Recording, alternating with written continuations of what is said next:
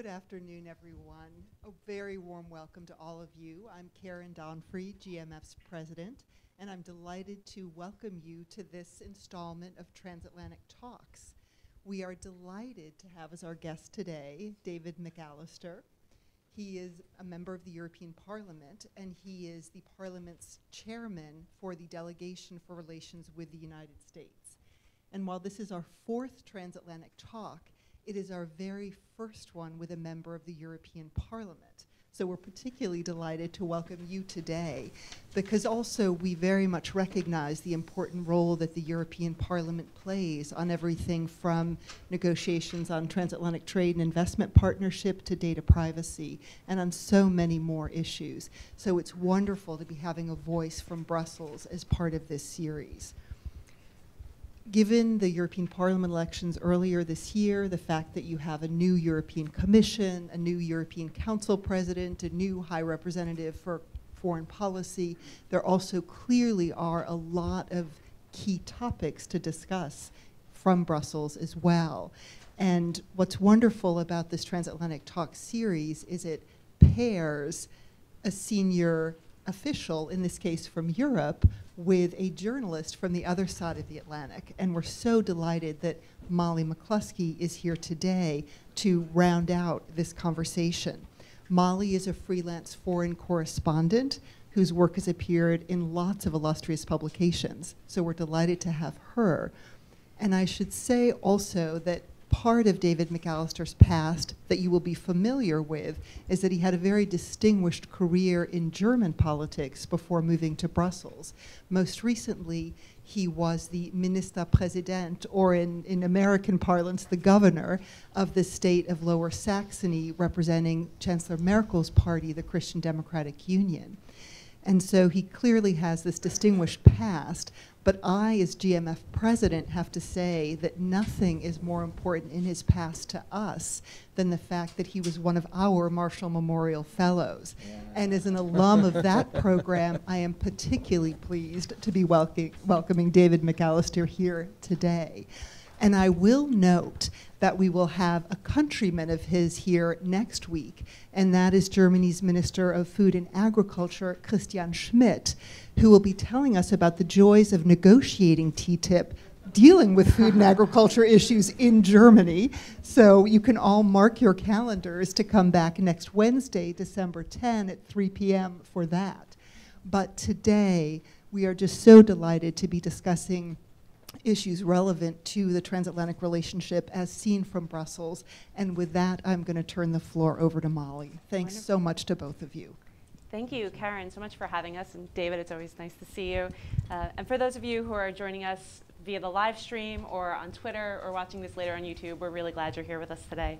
And it's so wonderful to be here at the German Marshall Fund, especially discussing the EU Parliament elections and the status of Parliament and what that means for transatlantic talks and relationships. And especially since we had those uh, very interesting elections in May. And I know the concern at the time was with the elections of officials from both far right and far left parties, how that would really play out and impact both Europe and the transatlantic talks and our relationships. Can you tell us a little bit about your experience with where Parliament is right now at this moment? Well, the elections took place on the 25th of May, and Parliament started work on the 1st of July. The first thing we did was to elect Mr. Jean-Claude Juncker as the new president of the Commission. That was a very important day for the European Union because for the first time we had Spitzenkandidaten at the European elections. That means that most of the political parties in Europe presented their candidates who are supposed to become Commission president if they become the strongest group. Uh, so that was something new in the European Union. I think that is something which cannot be reversed. Um, I mean, apart from the United Kingdom, all countries more or less agreed to uh, the Spitzenkandidaten process being a sensible idea. Um, afterwards, you know, the Parliament started work. Uh, we have now elected the whole Commission uh, into office, all the other 27 commissioners. Mr. Tusk is now the president of the council, so we can really start work now, and we've got a lot of things to do. There's a lot of things uh, on our plate. Um, the elections on the 25th of May saw an increase of the far right and the far left. but not as much as had been predicted by some observers. Uh, of course, from a German point of view, it's worrying that in France, which is our most important ally, the Front National became the strongest political party, a party which wants to get France out of the European Union as soon as possible, wants to destroy the idea of the united Europe. Of course, we weren't happy that UKIP became the strongest political party uh, in the United Kingdom, but that I think had a lot to do with a very low turnout uh, on the British Isles. But on the other hand, I would say 70, 75, nearly 80% of the members of the European Parliament are on a constructive way. They want to reform the European Union, they want to make the European Union stronger, and we perhaps don't have a grand coalition in the European Union, but we have a cooperation between the Christian Democrats, the EPP on the one side, the centre, the centre-right political parties, and the Social Democrats on the other side, and uh, a lot of um, uh, issues, the Liberals and parts of the Green Party join us. So usually Mr. Juncker on the whole commission, they got about 450 uh, votes. So that's really the Juncker coalition, which is working. And then we've got the opposition from the far right and the far left. You mentioned the UK, and I know it's been a very exciting year uh, in the United Kingdom. Not only with the conversation, you know, about whether or not the UK will is served by being part of the European Union, whether it should stay part of the European Union. There's both sides of that, of course, but also the Scottish referendum and whether or not Scotland would stay part of the United Kingdom itself. So, how is the role of the United Kingdom within the European Union at this moment? Is it still strong? Well, this is a tricky one. Uh, McAllister isn't really a very German surname. Uh, I'm, I'm half British, half German. I was born as a Brit. My father served with the British military in Germany, and he's actually from Glasgow. So I'm half British, Scottish, half German. Well, the Scottish referendum has been decided. My position was always that is a question the people of Scotland have to decide. And uh, the referendum was agreed between London and Edinburgh. And both sides knew that they would then accept the result. So that is over and done with, at least in the meantime. And now, with regards to the future of the United Kingdom and the European Union, I think we've just got to wait what will happen at the British elections in May next year. Prime Minister Cameron has announced that if he stays in power, if the Conservatives can continue their government, he wants to put the question if the United Kingdom should stay in the European Union or not to a referendum to all the British people within the first two and a half years of the next election period. So we're talking about a possible referendum in the end of 2017. Now we've just got to wait what exactly will happen in the United Kingdom, but from a German point of view, I would always say we want the British to stay in the European Union. We can discuss a number of questions, and we know that some issues are very important to the politicians in London. Of course, you can have a European Union without the United Kingdom, but it certainly wouldn't be a better uni- uh, European Union. We need the British, uh, and especially we Germans want the British to stay because they are our, one of our closest allies when it comes to economic reforms, when it comes to making the European Union more effective. And of course, we also need the British as a bridge to the United States of America. So I think the next two and a half years might be quite exciting uh, in the United Kingdom. Once again, the people in Britain will decide, um, but the people in England, Scotland, Wales, and Northern Ireland will decide. And hopefully uh, they will then decide that um, the United Kingdom stays in the European Union. In the meantime, we'll just have to wait what exactly the British expect from the European Union. They're talking about a more flexible Europe, or let's wait and see what exactly they mean. Mm-hmm. And while conversations in the UK about whether or not to leave the EU continue, of course, there are other countries that are looking to get into the EU. I know we talked a little bit about Serbia earlier and their role in enlargement, as well as several of the other former Yugoslavian countries.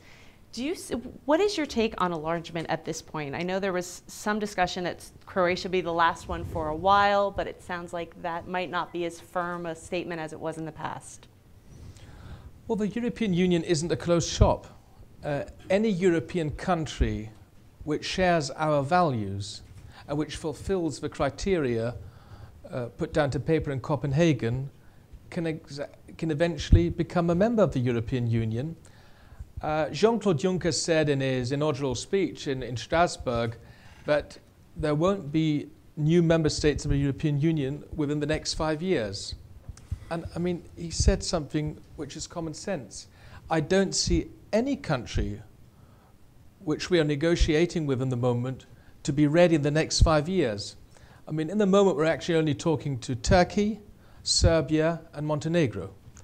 Uh, Iceland have cancelled the negotiation talks. They might have been a candidate to join within the next five years, but we've got to respect the decision of the, um, uh, the, the, government in Iceland. So, Serbia, well, personally, I think that Turkey is a very special question. But apart from Turkey, I always underline that the Western Balkans have a clear European perspective. The Western Balkan countries are an important part of Europe. They're proud nations. And how can somebody in Brussels or elsewhere say that these proud European nations shouldn't be able to become members of the European Union? So, with regards to Serbia, and I'm the rapporteur for Serbia in the European Parliament, I've been dealing with Serbian politics for the last eight weeks now, uh, every day. Uh, I would say the Serbian train towards Europe is on track. But it will take a number of years until this train uh, reaches uh, Brussels main station. But in the meantime, we should assist Serbia. We should help them. We should encourage them to do their reforms. And I'm pretty sure that the first chapter will be, the first negotiation chapter will be opened next year.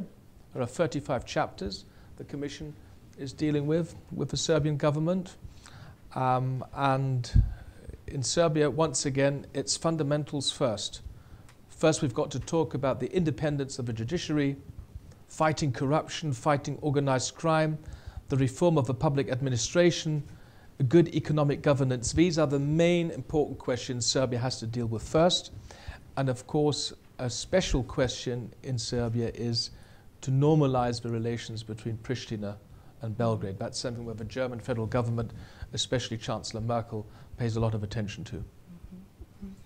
And speaking of Serbia and, and, some of the other Eastern European countries, many of which have varying levels of engagement with the EU, either they're members or they're not, or they're looking to join, or um, some are on the euro, some are not.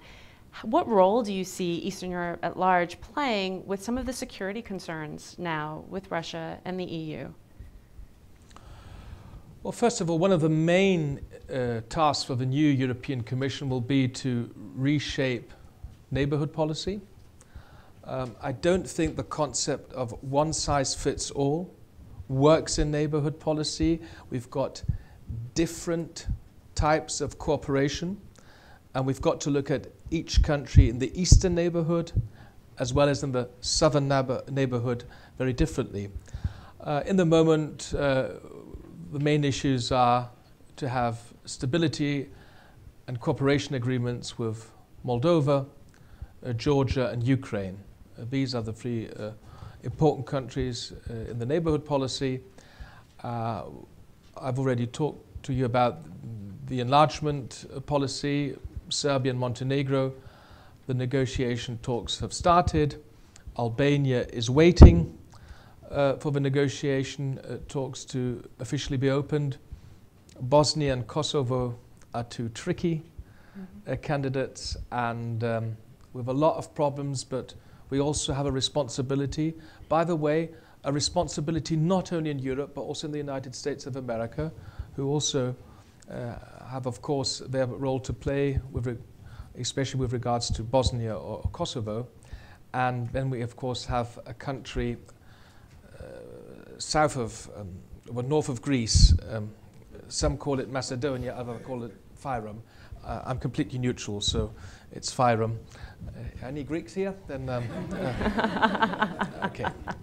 Uh, uh, but, but really, this country, um, uh, you know, is blocked because of a name issue for so many years now, and I just wish we could find a bit of, make a bit of progress eventually, because they're waiting for years now, and for years they're getting the answer we can't agree on which name we can give you, um, that's, that's really tough. Um, of course, security is plays a much bigger role now because of what happened in Ukraine. Um, I'm together with Eastern European colleagues every week, and it's really interesting to hear what they're saying. You know, what happened in Ukraine raised a lot of concern all over the world. But you can imagine that countries very close to Russia see it even more with a worrying perspective. The Romanians are closely looking at what's happening in Moldova, and our Polish friends, of course, are looking very closely what's happening in Ukraine, or just think what uh, our friends from the Baltic states are worried about what could happen. And of course, talking about security, as it's getting colder for us, it's also getting colder in Europe as well, of course. And energy security and, and meeting the needs, of course, not only through the winter but year round, is becoming an increasing concern. Are these issues that you're working with? I know each country is looking at diversifying their energy sources in different ways. Some are increasing nuclear, some are increasing coal. I mean, it varies by country. What are you seeing as the energy security policy? Do you see a cons consolidated one coming across? Well, Commission President Juncker uh, and uh, others have made very clear that energy will be one of the top priorities within the European Union in the next five years. We have to cooperate more closely within the European Union uh, on the field of energy policy. The single market uh, you know, is the core of the European Union, and we've got the single market in a number of political fields, but in other uh, parts, we're just at the beginning, and certainly in energy, we've got a lot to do to cooperate more closely, you know, to build the grid, uh, to build pipelines, and, and, other things. And our, apart from a lot of other goals, one thing is very important. We've got to reduce the dependency of certain EU countries from energy imports because uh, that has.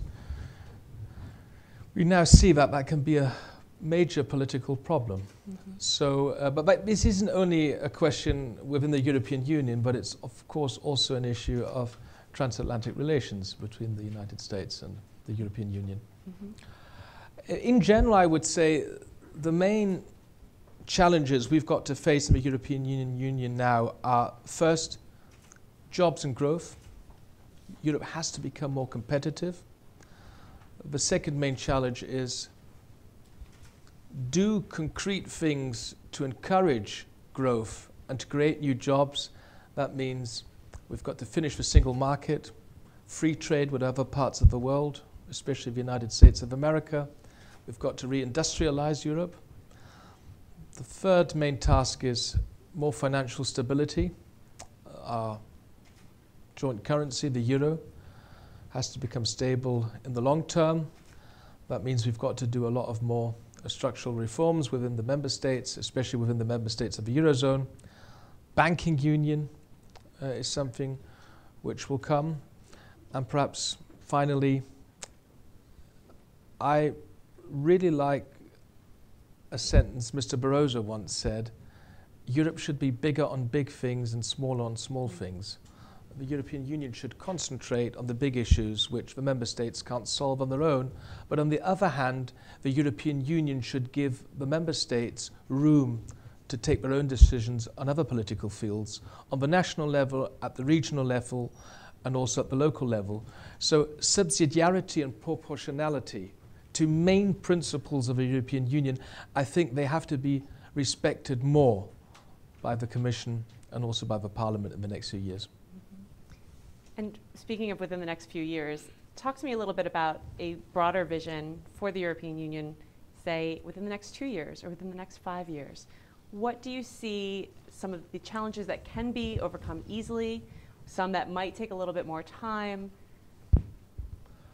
Well, in the moment, we've got to get our priorities right. And the number one priority is the economy, it's growth and jobs. And once again, Europe has to become more competitive. Uh, we have a far too high rate of unemployment, especially in southern Europe.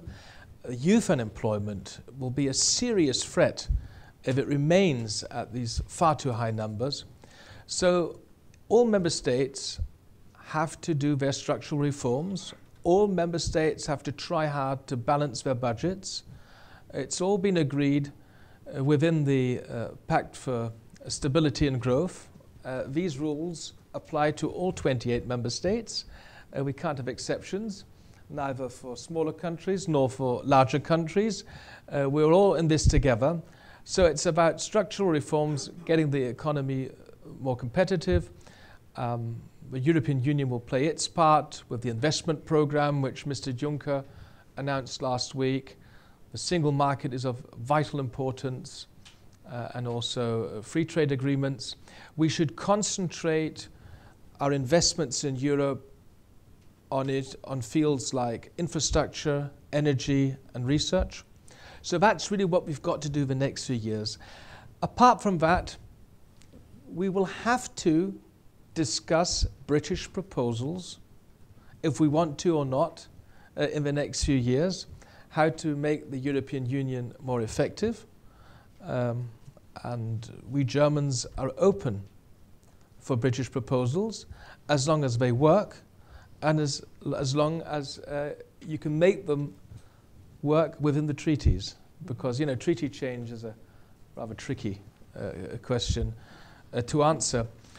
Um, as a German Christian Democrat, you won't be surprised. Uh, I believe that the European Union is more than the single market.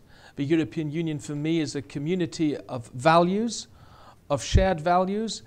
The European community is a big project of peace and liberty. And we still believe in the idea of an ever closer union. That means the political union, which is something of large importance for us in Germany.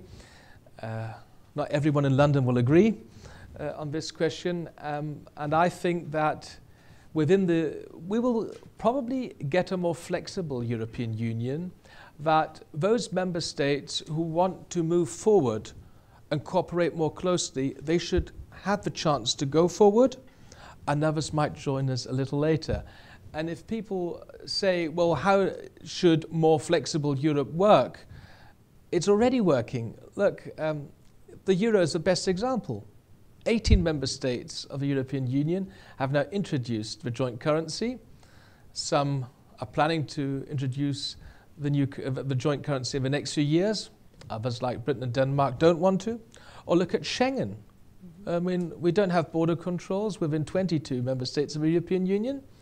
As a German, I would like to see all 28 member states join the Schengen area, but before waiting until the last government is ready to join, 22 went ahead and six are still waiting uh, to join us. So perhaps we will get more flexibility in other parts uh, of the uh, European project. But once again, the four principles of the single market, uh, you can't change them. You know, the free movement of people, uh, goods, and so on. Um, so once again, we're looking at the British debate, can we improve migration and immigration within the European Union? I would say yes. Can we change the fundamental right of free movement within the European Union? I would say no. So those are some ambitious goals for the EU. You've just you've just lined out for oh, us. I could tell you more. But, um, I'm sure you could. Uh, but speaking of some of those goals, how do you see the transatlantic relationship helping or hindering the process the EU is looking to make within the next two, five, or 10 years? Well, I'm very honored to,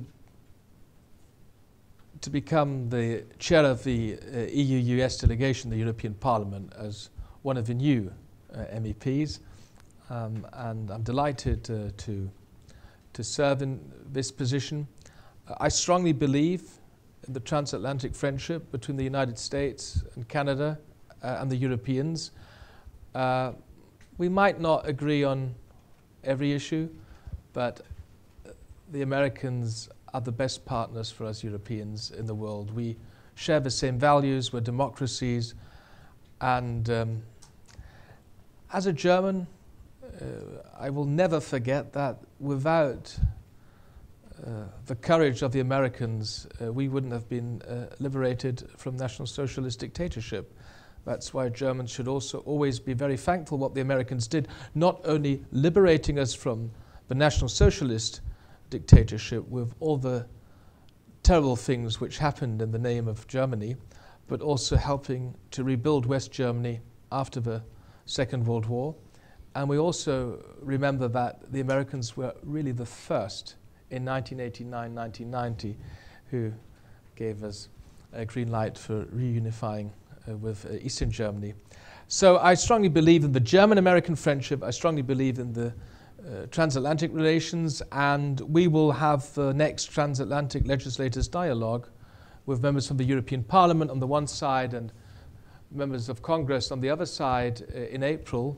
And I will meet my American counterparts tomorrow, and we will discuss which issues we want to put uh, on the agenda. But it's pretty obvious we will be talking about security, energy security, and of course, the main issue now, TTIP. David, I know I have many more questions I could ask you, but I also think this audience does as well. I believe we have a microphone. Are there any questions? Um, who would like to go first? Yes. Please identify yourself. Um. I think if you'll wait for the mic for one second. Thank you. Hi, uh, Brett Fortnam from Inside U.S. Trade. Um, one of the major um, points with TTIP has been that it's going to enhance the geopolitical relationship between the EU and U.S. Um, and I was wondering um, if that uh, ar argument really um, carries as much weight in the European Parliament as it does in the U.S. Congress, and if that argument is enough to outweigh uh, different issues such as ISDS and chlorinated chicken and uh, you know the, these array of um, walls that the negotiations have hit thus far? Well, I believe uh, in the big chances TTIP can offer, both sides. Uh, I think TTIP um, is a great opportunity to create jobs on both sides of the Atlantic and to create economic growth, and that's exactly what we need in Europe. Of course, there are a lot of questions which haven't been answered. There are a number of risks, but that's what negotiations are about. And in the moment, um, I would say uh, the Commission and the US authorities should continue negotiating, and once uh, they're ready with the negotiation, when, once we see the results, then we can uh, start um, a political debate in detail. Something for sure, TTIP is more than just about trade. Uh, TTIP for us is a geostrategic project. And um, I mean, it's a fascinating idea that the two largest economies in the world, the American and the European single market, merge to one big transatlantic single market. That would have a great impact on, on both sides of the Atlantic. So that's why, in general, I'm in favor of TTIP. But of course, we've got to discuss different views on certain questions. Um, there's a large amount of concern, especially within my country, Germany, when it comes to a few details. Um, the chlorinated chicken is one of the most famous animals uh, in Germany in the moment, and I, I completely understand. Oh, look, I'm speaking to my constituents every day, and I get a lot of questions uh, on these issues, and we in Europe have high standards when it comes to consumer protection, protecting the environment, uh, protecting uh, laborers, um, uh, cultural stand standards, and other things. But you in America have your standards too.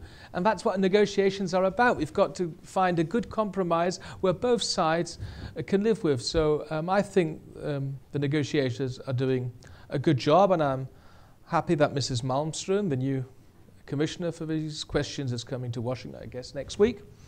Uh, important is transparency You've got to inform the members of parliament on both sides of the Atlantic about all the steps which are being debated. And of course, since TTIP raises such big public concern, uh, you also have to address the people uh, in the United States and also in the 28 member states of the European Union. It's too early to really go into detail yet. However, um, it's not a surprise if I say, as a German, that investor state dispute settlement uh, will be a rather controversial question. I understand the American position that they want or that they insist uh, on uh, having some kind of safeguards for uh, investors uh, uh, within the TTIP agreement. Um, on the other hand, um, we've also got to see that we don't want ISDS interfere with an independent judiciary system in Europe, I think in the end we will have to find a balanced compromise. That's what politics is always about. Gentleman in the back, please wait for the mic. Thank you. Yeah, thank you. Uh, Jim Berger from Washington Trade Daily. I uh, just have sort of a follow-up to that in a more general scope. There's a, a growing um, I guess, feeling on this side of the Atlantic that the European public is simply losing interest in TTIP. Uh, and even the U.S. Trade Representative have, has recently said, well, we got to get Europe back to the high uh, level and ambition that uh, this all started with. Uh, what, what's your opinion of that? Well, I'd say the public interest in Europe on TTIP is huge. It's enormous. I mean, if, if, if you're a member of the European Parliament, you don't really complain about getting uh, little enough emails. Uh, uh, um, I mean, I think, what was it? The um, was it 700,000 uh, signatures against TTIP uh, during the hot phase of the election campaign in Germany. So uh, TTIP is all, always an issue. Wherever, I, when I'm, wherever I'm in Germany speaking to the people, yeah, the German papers are full of TTIP nearly every day. Uh, so that's the one thing. On the other hand, uh, there's a clear commitment of all the national governments and the European Parliament as well, with a broad majority. We see the chances and we see uh, the, the, positive aspects of a free trade agreement with the United States of America. And that's why we're working on these questions. That's why the negotiation process uh, is, is going on. Um, I think the difference is in America, you're not only talking about TTIP, but also about TPP, and I think that can, gets more media coverage uh, in this part of the world uh, than in Europe.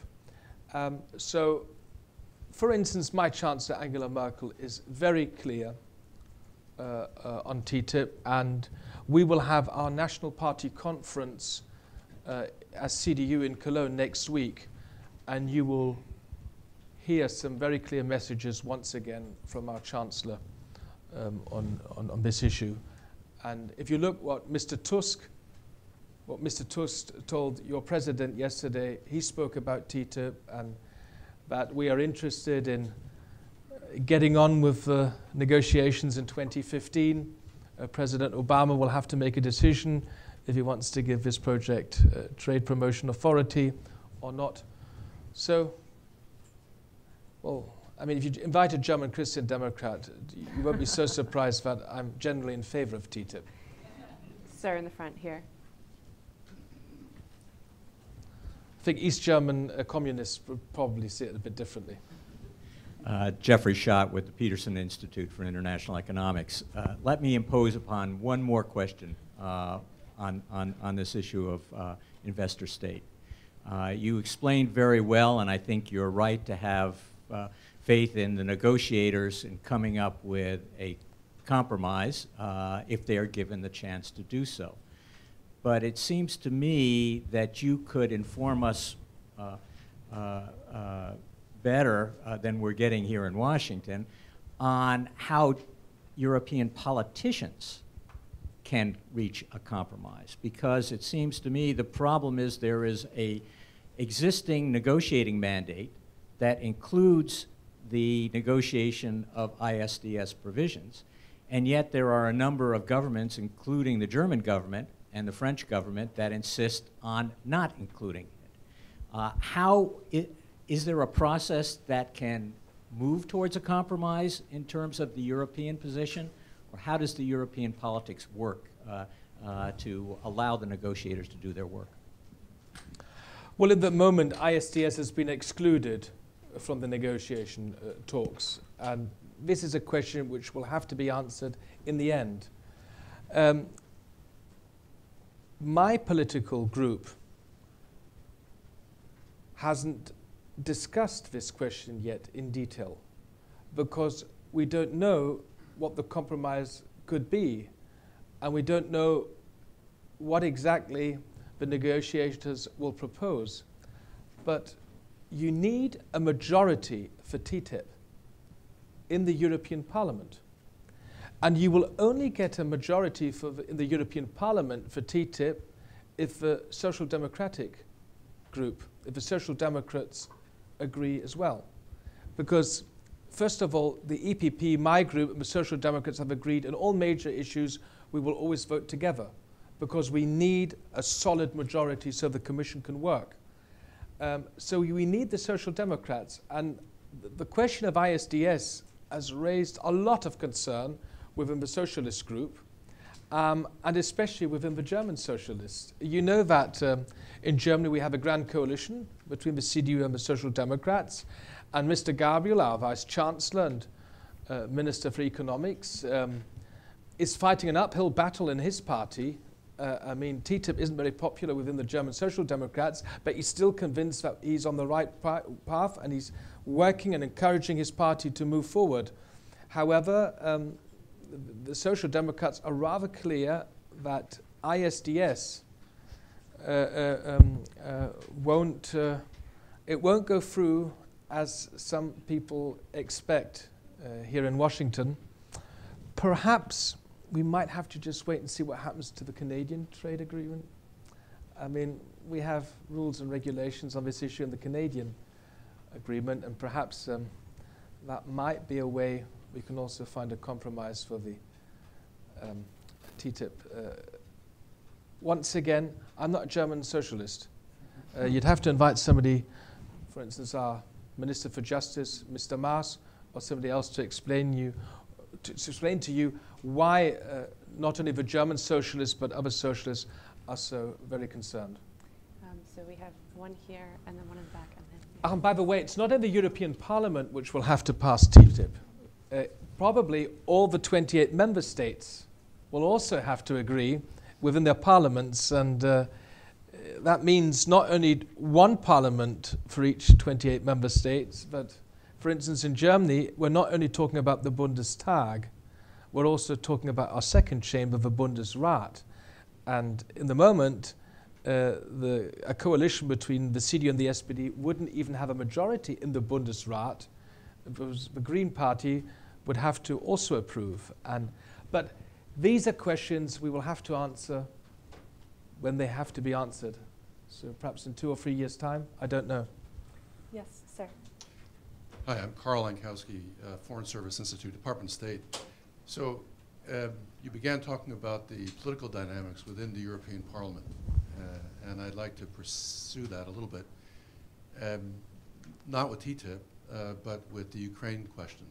You mentioned in your uh, former remarks uh, that uh, Europe was open for business when it came to uh, reaching out to other countries that were willing to and oriented to European ideals. What do you do when a million people appear on the Euromaidan uh, wanting to become part of Europe uh, and at the same time have a, uh, an aggression that can't even speak its name uh, from Russia? Um, how does, how does that look within the European Parliament right now? Can you give us a sense of the balance of forces and the dynamics on that issue? An enlargement fatigue is noticeable throughout the whole of the 28 member states. Um, it varies from country to country, but um, when Mr. Juncker said no further accessions to the European Union within the next five years, he will certainly have the majority of Europeans uh, uh, behind him. Um, I mean, the enlargement process of the European Union in the last years was just enormous. And, um, you know, Romania and Bulgaria showed us all elements, all the criteria elements have to be completely fulfilled, not only pa- on paper, but in reality. Uh, and it, it, it's, it's, not, it's of no help at all, neither for the European Union nor for new member states, uh, to let them join the European Union uh, as long as the criteria isn't actually fulfilled. So that's why Montenegro and Serbia are going through a very tough negotiation process. But it might be, well, it will be for the benefit of for both sides. Um, I think we've got to stop the discussion in Europe. You're either in or out.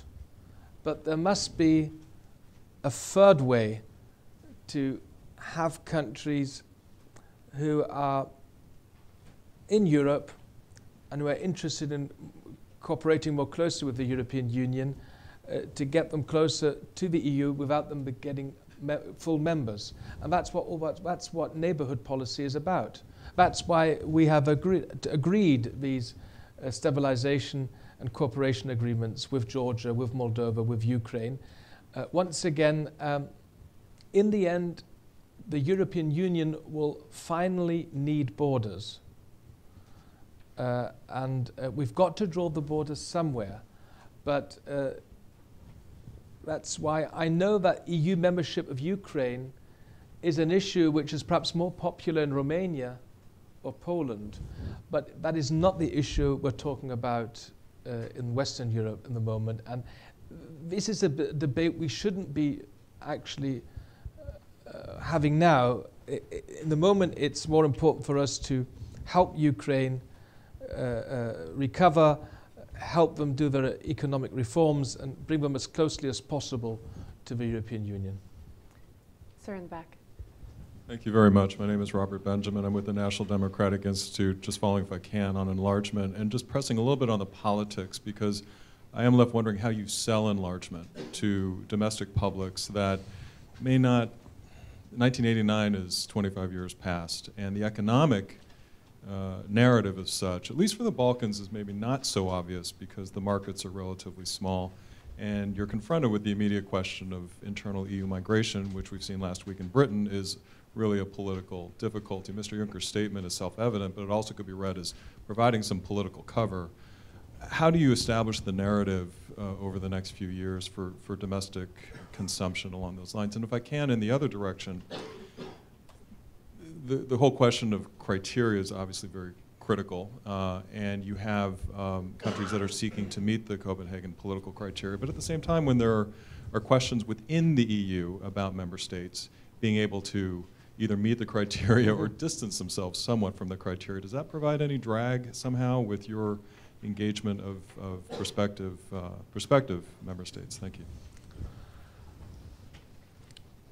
I was appointed as standing rapporteur for Serbia a few weeks ago, and since then I've been talking to my uh, people in Germany about this question. What we have got to do as politicians responsible for further enlargement, we don't only have to tell countries like Serbia or Montenegro or others that it's a big benefit to join the European Union, but of course we also have to tell our people in the member states that they also benefit. And I would always say to, to the Germans, the first thing is we can't be arrogant. We can't say, this is it. The Western Balkans are in the heart of Europe. The second thing I always say is we have a special responsibility for the Western Balkans. From a historic point of view. The third thing is if we want stability, long term stability and process, uh, long term stability and peace in the Western Balkans, the European perspective is of vital importance. I mean, it was Cathy Ashton and her team. The Americans did their job too. But it was Cathy Ashton and, the, and her team which actually made Pristina and Belgrade start to talk with each other. I mean, there was a terrible war just a few years ago, and it was, you know, NATO airplanes bombed Belgrade. And if 10, 15 years later, we've got Serbs and people from Kosovo officials talking to each other, and that's got a lot to do with the pressure which was put up by Brussels. And, you know, and that's why Angela Merkel is so strongly committed that the first chapter with Serbia will only be opened if we start seeing concrete results on the normalization of the relationship between Kosovo and Serbia. So I always argue, first of all, we've got a responsibility for the Balkans. The Western Balkans have a clear European perspective, and it's got a lot to do with peace and stability, one hour's flight from Munich. I mean, we're not talking about Central Africa or, or some other part, way away. It's in the heart of Europe. And German soldiers were also involved, uh, also involved uh, in the, uh, uh, after the, the, the, the terrible uh, incidents that happened. And of course, Serbia or Montenegro or other countries would be a valuable contribution to European culture, to the European economy. I mean, we're talking about 8 million people in Serbia. Uh, we've got a lot of uh, foreign investment in Serbia already. And of course, uh, uh, uh we would also benefit from Europeans moving to Serbia, but of course, Serbian people moving to, to Europe. I mean, Vienna is the third largest Serbian city in the world uh, after Belgrade and Chicago, uh, yeah, I was told. So that's, um, and please bear in mind, new member states of the European Union require a treaty amendment and uh, perhaps even a referendum in some of the countries. I think it's a good move that Johannes Hahn, an Austrian, is the new commissioner responsible for enlargement and neighborhood policy because the Austrians have close historic ties to the countries on the Balkans. Yes, ma'am in the front. Thank you, Mr. McAllister. Heather Conley with the Center for Strategic and International Studies. Uh, speaking of commissioners, the German commissioner, Mr. Oettinger, is uh, commissioner for the digital agenda. Yes. And on Thursday, we had an extraordinary statement from the European Parliament about Google and the unbundling of Google. I'm wondering if, and we had a reaction to that uh, statement here in Washington. Uh, could you share with us the data protection environment in the European Parliament? From uh, it's a competitiveness question, it's a data privacy question, and we'd love your thoughts. And I'm sure you'll get a few questions about that on Capitol Hill tomorrow. I knew you would ask this question. Uh, look, I, am not an e expert on the digital single market. Uh, I'm more into foreign affairs and enlargement. But this is the famous resolution which was carried by the Strasbourg Parliament. And I got a number of letters from my American counterparts before, and I read a lot in the American media, I think the American public has hardly ever paid such big attention to the European Parliament, so we must be more important than some people think we are. Uh, however, first of all, I read the whole resolution flying, um, not before we passed it, but afterwards. Uh, no, uh, of course, I read it beforehand, but I read it once again, word for word, flying to Washington from Frankfurt on Sunday evening. And the, first of all, the word Google doesn't appear once in this resolution. If you find the word Google, I'll pay you whatever you want. and uh, now, and I mean, I'll just try and read out what exactly the European Parliament meant.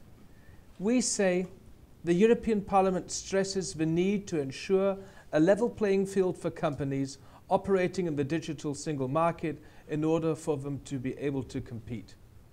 That's nothing special. Then the European Parliament notes that a level playing field for companies in the digital single market must be ensured in order to guarantee a vibrant digital economy in the EU. Then going further into detail, which was probably noted with biggest concern in the American public, the European Parliament notes that the online search market is of particular importance in ensuring competitive conditions within the digital single market given the potential development of search engines into gatekeepers and the possibilities they have of commercializing secondary exploitation of information obtained. And then finally, the European Parliament stresses that when using search engines, the search process and results should be unbiased in order to keep internet searches non-discriminatory to ensure more competition and choice for users and consumers and to maintain the diversity of sources of information and on and on. So that's really the situation we have in Europe is that Google, for instance, in Germany, has a market share of about 93%. Now, Germans choose this on a voluntary basis. Uh, there are other search engines, but they go to, well, I always go pick Google because I don't know how to change it my computer. But, uh, but uh, no, I, I'm always on. I, no, I'm always on. Yeah, but I, I, I, I'm with the 93% majority. I, I, I wish my political party had 93%, uh, but we're still far away from that. So it's okay that, that, that, that, that Google has this market share, but once again, uh, we don't want, we want an, it shouldn't be unbiased, unbiased in order to keep internet searches non-discriminatory. And that's what the European Parliament has addressed. This was passed by what was it, 450 votes or something? Can I have it? Oh, I actually, there's a picture of, of the, what it, it was carried by 384 to 174. My God, where was the rest?